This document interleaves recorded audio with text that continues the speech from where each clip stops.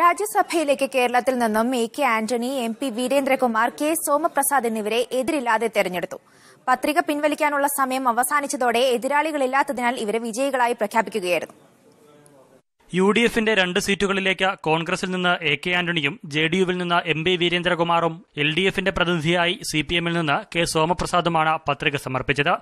T N Seema K N Balagopal A K Antony എന്നിവരുടെ കാലാവധി പൂർത്തിയായ സാഹചര്യത്തിലാണ് പുതിയ അംഗങ്ങളെ തിരഞ്ഞെടുത്തത്.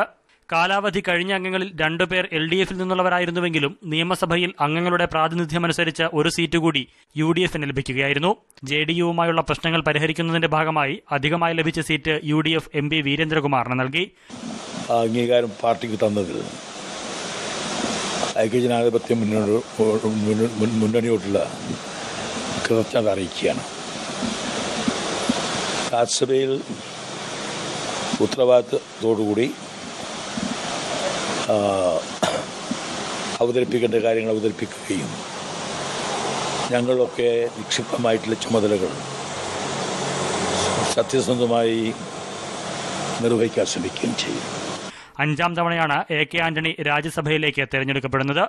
എം പി വീരേന്ദ്രകുമാറിന്റെയും കെ സോമപ്രസാദിന്റെയും ആദ്യ ഊഴമാണിത്. പട്ടികജാതി ക്ഷേമ സമിതി സംസ്ഥാന സെക്രട്ടറിയാണ് K Somaprasad. Media one Thiruvananthapuram. നെല്ലിയാമ്പതിയിലെ കരുണ